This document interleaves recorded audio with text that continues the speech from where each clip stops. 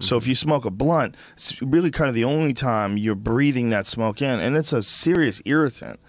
Like I, I think that's real unhealthy for you to to smoke those tobacco leaves all the way down. Right. I think you can't do that every day. You know, that's why that's why uh, uh, you know Gino's little that Mm-hmm. electronic cigarette blunt that that thing tastes great, and you don't have to do Yeah. the nicotine part of it. no, Gino's the shit. Uh, L.A. Speedweed, he knows what he's doing, man. He got pulled down from Instagram. Isn't that hilarious? Really? Instagram deleted his account or suspended his account or whatever the hell they did because he's uh, weed related. Like know- he's operating within the California laws.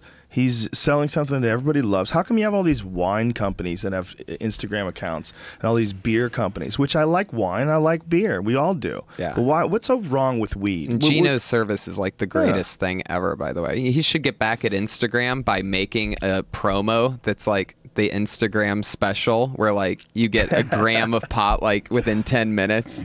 Some type of crazy promotion where it's like, hey, did you hear about the Instagram thing? Just use them as a marketing thing.